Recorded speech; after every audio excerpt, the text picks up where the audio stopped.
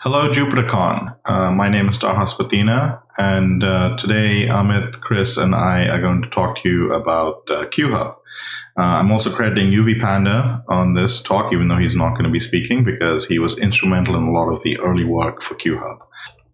QHub started out uh, with me being very annoyed. Uh, I came from an HPC background, and while HPC has its own problems, uh, getting compute is relatively easy once you are have access to a nice HPC system.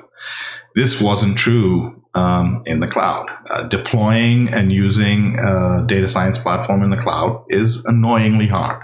We decided to try and do something about it and automate it. Um, so we are now announcing QHub. It's an open source project that hopefully allows you to deploy and manage um, your cloud compute, um, even if you don't have much of a DevOps background or anyone in your organization with a DevOps background.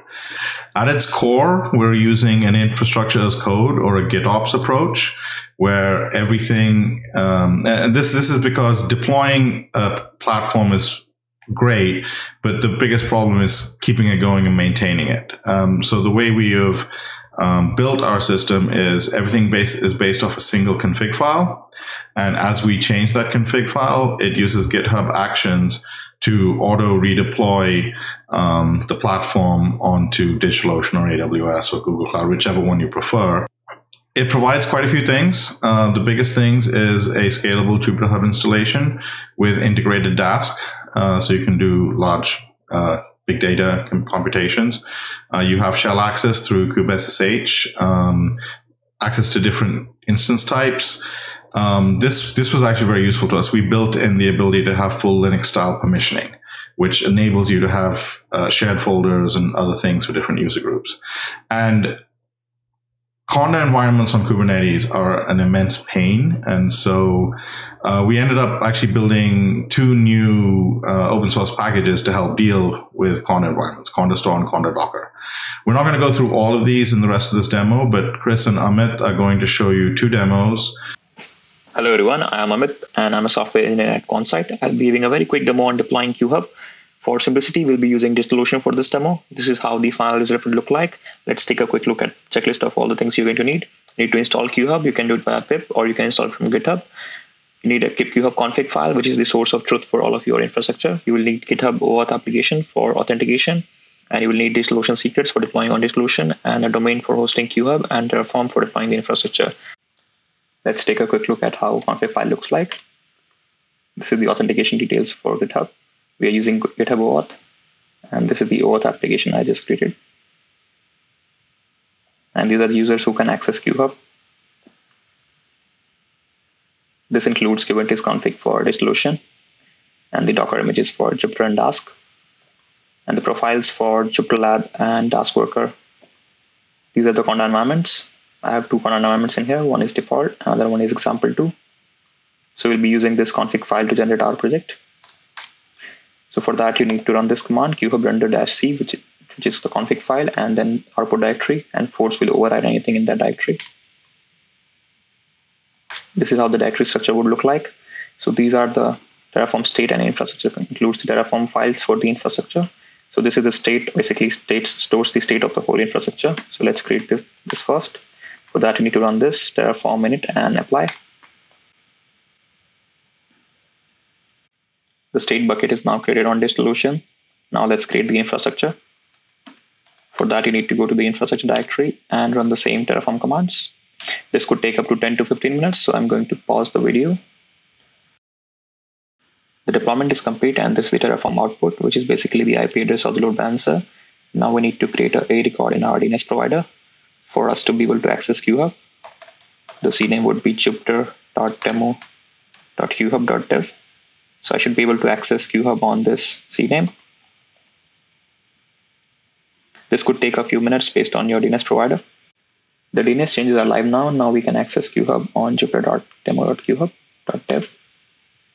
I can sign in with GitHub because I had my user ID added in the config. Let's create a small instance. This comes from the profile in the config.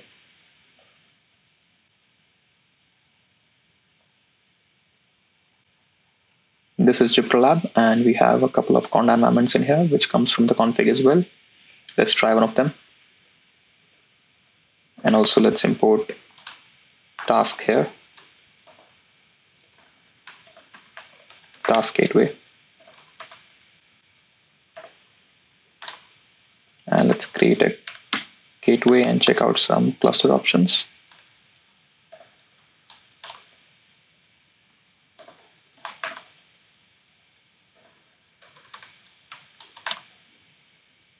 You can see you have a couple of worker profile, which also comes from config, and you have a couple of conda environments, which also comes from config. So you can instantiate your workers with these.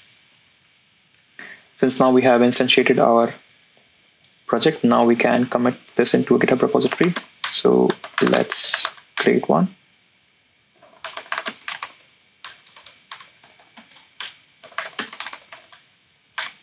And we can create a repository now which will be Jupyter Con QHub demo. This will be private for now, but by the time you'll see this video, it'll be public.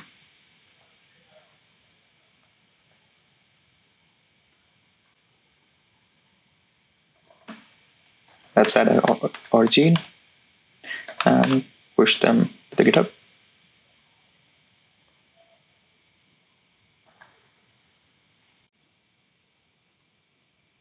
Now we have the entire state of the infrastructure in this Git repository. Any changes to the infrastructure can be made via pull request and they'll be executed via GitHub Actions. Now Chris will talk more about QHub and Conda Store and Conda environments. Thank you. Now that Amit has given a demo on how to deploy QHub on DigitalOcean, I wanted to show how we can update the configuration. One of the things that we found while um, at Quansight and deploying these Jupyter Hub clusters for many different customers is that we needed to add new users, add new packages, customize the compute environments um, through time. And this really hits at that. I think the hardest part about infrastructure deployments is day two onwards. So in this demo, um, we've taken the configuration that Amit wrote and we've added um, Tony as a new user. Um, this is one of the features of QHub is that users actually have full Linux permissioning built in, so they get a UID and groups associated with them. Um, in this case, we're making their primary group ID users and then secondary group Quansight. Um, we can also see that we added a Quansight group, and we'll see later um, the special um, or the nice nice things that we get with having groups and shared folders. And then finally, um, I also wanted to show a critical piece of updating the environment.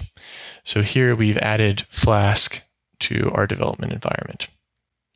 So now that we've made these changes, we'll commit them. So adding environment, package, Flask, and new user Tony. Once we commit to master, kicks off a job that then will render the configuration changes to the repo. In this case, you can see it in this step right here. And then finally, the changes are pushed back to the repo, which then kicks off a job to update the infrastructure itself on DigitalOcean. We do this via Terraform. Um, so we have an apply step, and typically this takes several minutes. Once that's complete, users can um, continue their regular usage of Jupyter Lab and Jupyter Hub. It's not going to be interrupted um, by the upgrade process. Um, I just wanted to show here some of the, the changes that we just made. So we added Flask to the user's environment, which in the default environment imports correctly. Then, as I mentioned before, we added the user Tony. Um, so we are using full Linux permissioning um, running inside of Kubernetes here. So we have a nice way to give each user a unique identity and take advantage of protecting folders, making them read-only, etc. QHub creates a shared directory that can be used by all JupyterHub users.